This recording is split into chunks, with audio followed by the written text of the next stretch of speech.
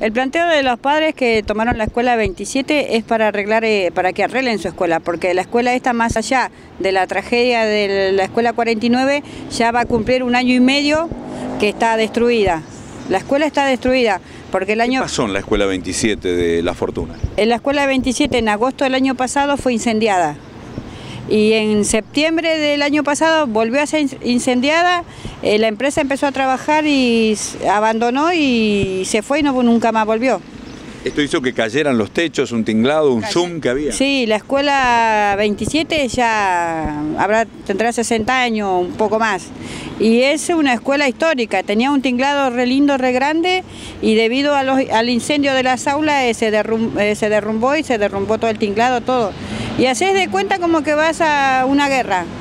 Y son la ruina de una guerra, porque ves cascote por todos lados, hierro por todos lados. Inclusive la empresa que estaba trabajando invirtió plata y se robaron eh, y abandonó y se robaron los tanques de agua, eh, se robaron chapas, se, robaron eh, mampostería, ventanas, todo de, la, escuela. ¿Se trató eso hoy en el comité de crisis que está reunido todavía? hoy se trató eso en el comité de crisis que está reunido porque inclusive lo que ellos dicen que es el gas asegurado, ese tiene eh, red de gas natural y a la red de gas natural le ponen un cepo del lado de la calle. Cuando fue lo de infraestructura y la empresa a revisar eso, se habían robado el, cepo y quedó la caja de gas a la intemperie. Así que puede pasar cualquiera por la calle y María, ¿cómo sigue esa situación? ¿Vos pediste puntualmente hoy que mañana vayan inspectores? Sí, yo, yo eh, hablé con Francisco Pigretti, que es el jefe de infraestructura, y él me prometió que mañana a las 9 de la mañana se presenta en la escuela 27 para hablar con los padres. O sea, ¿están convocando a los padres que los esperen mañana temprano? Sí, que los esperen mañana a las 9 de la mañana, para que él le dé una respuesta... Eh, eh, cuando empiezan las obras en la 27. Inclusive esto afecta a la escuela, porque chicos que van a, esa escuela eh, se están yendo a, inscribirse a escuelas cercanas del lado de San Miguel.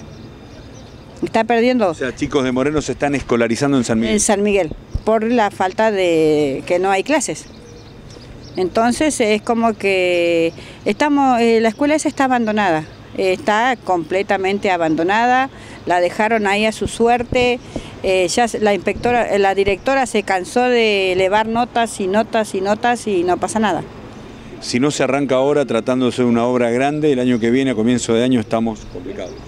Eh, te vuelvo a decir, Pigretti recién nos dijo que, si, que mañana van eh, por ahí las obras alcanza, eh, eh, los obreros empezarían a ir esta semana o la otra y él dijo que para el 5 de febrero las escuelas que están en esas condiciones estarían terminadas. Esa es una promesa, a ver, porque viste que las promesas acá se las lleva el viento. O sea que mañana jueves estaría Pigretti visitando la escuela 27. Sí, exactamente. Yo invito a todos los papás, de a la, toda la, la comunidad educativa, tanto de la escuela 27, del jardín que está al lado y de la media 12, porque la media 12 también empezaron una obra de electricidad y la abandonaron.